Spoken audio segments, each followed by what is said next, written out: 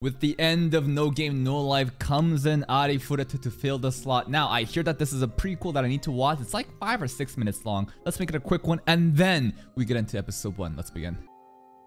School, high school bell. This and the cicada noises during the summer are probably the mo most reused clips. Are we getting bullied? Sure, yes, maybe. What the fuck? I, I, I'm getting called out personally. Oh, hello. Not you. Not you guys. No, Nagumo. Fuck you. Now, why does this care about... Why does she care about the fucking virgin neat weeb, huh? Why? Because you guys are the target audience for this show. Get fucked, dude. Get fucked. Why does she care so much about the main character? What? The two goddesses. the two of them though? Oh, wait, wait. Who, who's the other one? Because you're the main character. Oh, damn. Who are these dudes? Is that the other goddess? The guy on the right reminds me of Jumonji. Advantage? She just came here. She's a no. Hmm? Fuck off. why does she care though? No, no, no, no. Why do you care about Nagumo though? You know, the most popular girl, one of the two goddesses the school just happens to love unconditionally. This virgin neat weeb. Why? Where's the isekai? Uh, isn't this an isekai? Are we staying in Japan? Does the teacher's a loli? Of course the teacher's a loli.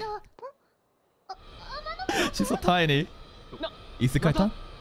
Isekai time? Isekai time? Oh? The entire classroom gets transported? Okay, no Truck-kun, just magical summoning. Getting summoned by castle? Are they like summoning heroes? Probably. This is like a gacha game, and they just summoned a bunch of fucking three-star units. No five-star here, bro. Maybe the two goddesses, maybe the girl. The MC just looks like such a weak piece of shit. Okay, just summon the heroes, beat the demons. Alright, that's their typical isekai shit, right? Okay. Status and numer- I bet the main character's gonna have like a zero or like a question mark, right? Because, and I don't know, he's gotta be an anomaly or something like that. Combat and non-combat, okay. You want to be combat, but we're gonna be non-combat, right? 1 out of 10,000 might be combat? さすがは勇者様だな He's a hero レ sama. ベル1の段階ですでにこの数値尻尾に家事職は Ah, we don't want we don't want to be blacksmith. No, no. I want to be like a sword god. I want to be like sword saint, you know? 僕にも No, he's gonna have a shitty job, right? He's gonna have what is his job, bro? Lo- What is it? Job synergist. Crafting.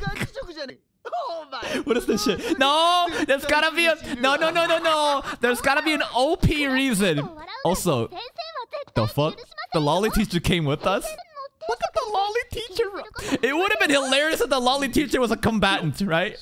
She's a farmer. She's a farmer.